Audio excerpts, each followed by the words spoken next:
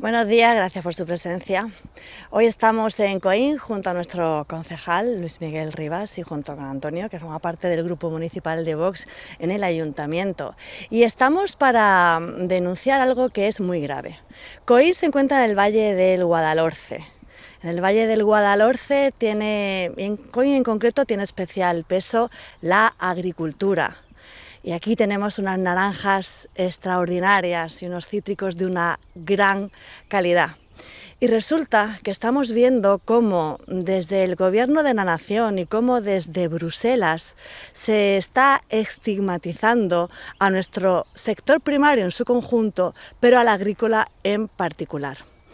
Tienen que hacer frente a la subida de los costes, tienen que hacer frente a una competencia desleal tienen que hacer frente a esas imposiciones climáticas de aquellos burócratas que desde Bruselas dictaminan órdenes que amenazan de manera directa a nuestro campo. Hemos visto recientemente cómo hoy, precisamente en la prensa, cómo hemos recibido fresas de Marruecos que suponen un grave perjuicio a la salud de los españoles.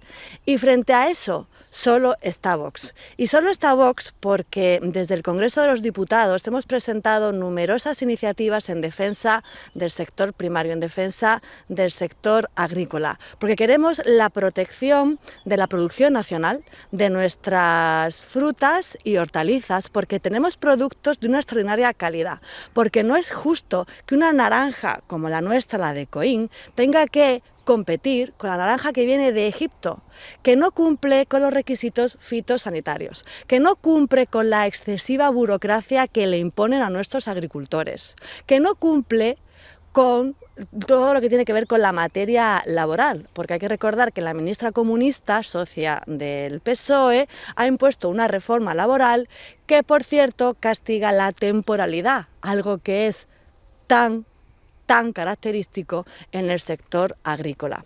Y nosotros lo decimos con mucha fuerza en el Congreso, lo dice con mucha fuerza y defiende nuestro sector primario con mucha fuerza nuestro concejal en COIN y lo decimos y exigimos en Bruselas.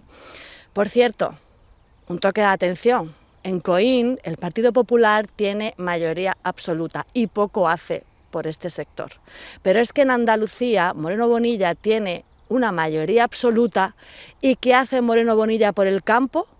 Nada, porque Vox ha llevado en numerosas ocasiones una iniciativa para la creación de una oficina contra el fraude en el reetiquetado y el PP siempre ha votado en contra. ¿Y esto del reetiquetado qué significa? Pues significa que desde el PP de Andalucía y por tanto también desde el Gobierno de la Nación, aunque sea socialista, lo que están es beneficiando a los productos de terceros países, a la naranja de Egipto, al tomate de Marruecos o a la fresa, por ejemplo, también que ahora desde Vox exigimos la retirada del mercado.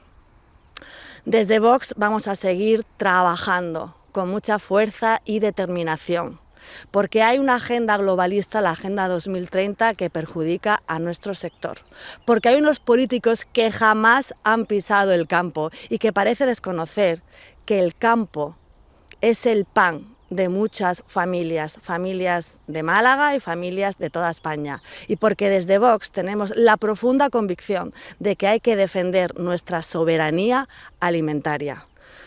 Seguiremos en la lucha y, por supuesto, tenemos eh, unos agricultores que se han levantado de una manera muy justa en contra de este gobierno y en contra de los burócratas de Bruselas.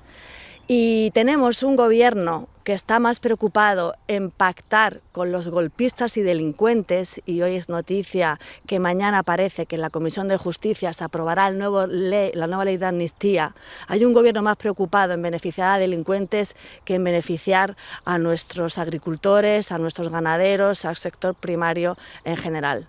Así que nos tienen enfrente y seguiremos denunciando las troperías de PP y de PSOE, que son lo mismo porque votan lo mismo en Bruselas. Y Bruselas determina lo que aquí en Coín sucede cada día. Nosotros estamos con nuestros agricultores y defendiendo el trabajo de sus manos, que son 24 horas, 7 días a la semana, y el sudor de su frente, porque con el pan no se juega.